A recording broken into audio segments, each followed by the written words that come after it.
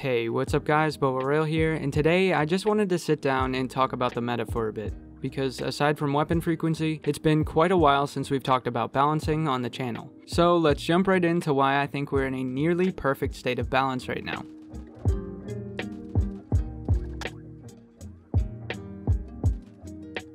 So of course, this idea of being practically metaless is a consistently desired trait among pretty much all first-person and third-person shooter games. The inevitable goal is for all guns to have a roughly similar time to kill for the sake of consistency, and so a lack of outliers in both weapon frequency and physical performance is always a good sign for the health of a player base. And this is exactly what we've been seeing since the bugle nerfs of 9.1. This is definitely the most even balancing in the game's history, with most guns being perfect for their intended purposes. Now, keyword there is most, because there are some slight outliers both above and below that balancing line that I think need some slight changes. But first, let me take a quick second to address the biggest thing that I've heard over the last few months, especially back when the Bugle was still being debated as a topic. I heard a lot of, well, after they nerf the Bugle, they're going to go after the next best gun, because they just want to make every gun bad and slow the TTK of Vigor. More specifically, I saw a lot of after they hit the bugle, they'll go straight for the AUR and H-bar. To those of you who had that reaction to my opinions on the bugle in the 9.1 update video, I say, no, that is not the case in the slightest, and I think the purple and gold gun categories are very well balanced at the moment. The AUR is arguably the most versatile slash best assault rifle in the game, and that is perfectly okay due to its cost and scope glint, as well as its slower fire rate, making it pretty weak in comparison to SMGs at closer ranges. And it really only dominates at its intended medium to long range, the same pretty much applying to the H-bar. In fact, the only problem I see with the AUR is actually a bug with its first person, where the sight zeroing is not properly centered, so hopefully that can get fixed eventually. So if no purples present a serious problem, then what is actually left in the game that would be considered unbalanced? Well, it is mostly just small things, but the biggest and most obvious one is the M16. It's simply too good for a common gun that only takes a minute to craft. But luckily, I think the solution is pretty obvious and easy to do on how to balance it.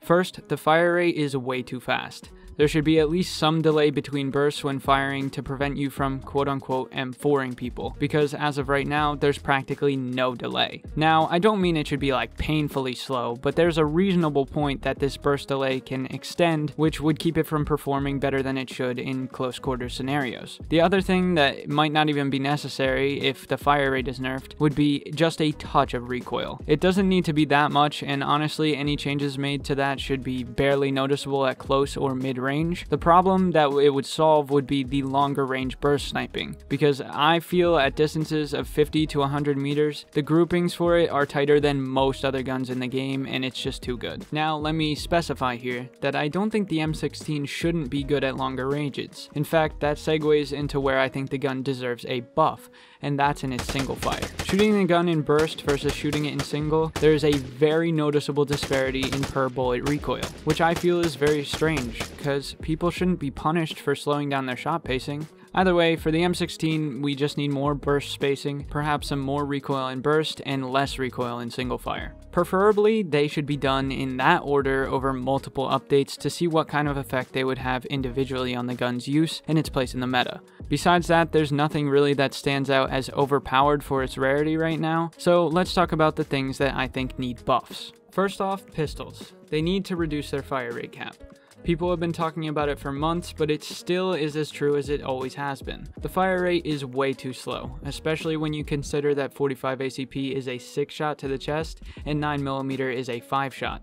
Same goes for the PM and the PSS, but in my opinion, those are a lot less important to me in terms of the meta. Honestly, I feel like the Combat Magnum would also benefit from a slight recoil decrease, but even right now in the right hands, the Combat Magnum can absolutely destroy, so that's much less essential. Now, to bring it back to 45 ACP, I want to bring up that 6 shot to kill and how that makes the Thompson and Grease gun so egregiously bad. Like, because of their damage per shot and damage fall off, they have roughly double the time to kill of the main guns being used in the game, the 4 shot assault rifles. Now, I'm not saying make these completely cracked, because they are still starter guns, but bumping that 45 ACP damage from 6 shot to a 4 or even just a 5 shot, which is the same as 9mm, would make a huge difference. I brought this up a few times to people, and they've tended to disagree, saying that this would make them overpowered, and that I just want to make the game easier for new players. First off, overpowered is ridiculous. They still have terrible bloom, recoil, and bullet velocity, so they're still very much restricted to CQB as they are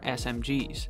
But a buff to their damage would just allow the guns to be a bit more forgiving when they're hitting chest shots exclusively. The hitbox that any new player who just picked the game is going to be hitting 90% of the time. Let me reiterate here.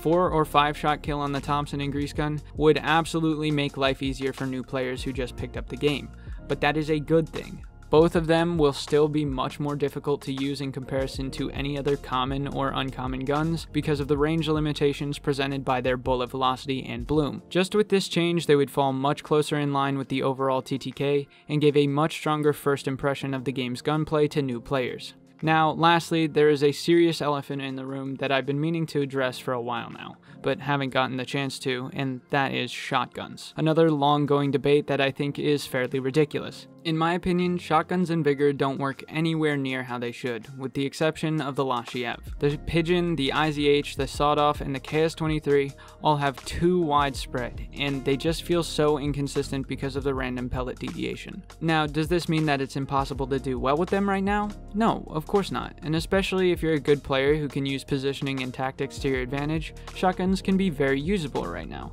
I'm sure a lot of our shared viewers with Half Metal Fox see that all the time, as he practically mains the IZH. But at least to me, they are still not nearly as reliable or consistent as they should be, especially at ranges of 10 to 15 meters, where I guess you could say that that's not the intended range of a shotgun, but you still should be able to understand the damage that it's going to do. Sometimes you can either take half of someone's health away, or literally have all of your pellets go completely around them.